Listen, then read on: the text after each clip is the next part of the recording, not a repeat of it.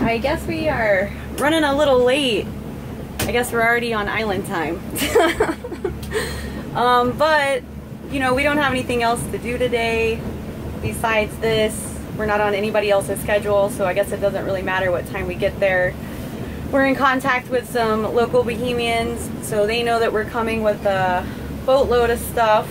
We have more stuff today than we did on Saturday, which is great. Um, we're going to be going to Port Lucaya today.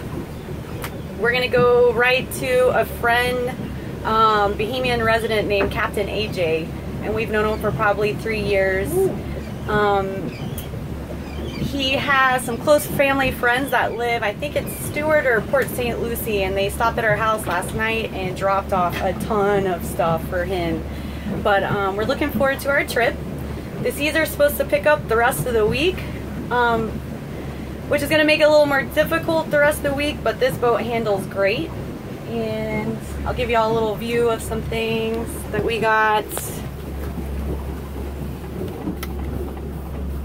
This is all full.